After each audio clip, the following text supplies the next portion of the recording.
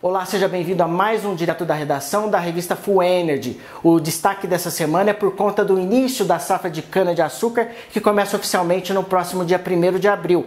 Vamos ouvir a análise da próxima safra com o consultor Dib Nunes. Eu diria que nós estamos no mesmo nível do que foi produzido o ano, a safra 2016, mas devido à imprecisão climática até agora, nós poderíamos dizer é, mais ou menos 2,5% a 3%. Então, mais 3%, menos 3%, em torno de 596, 598 milhões é, de toneladas de cana.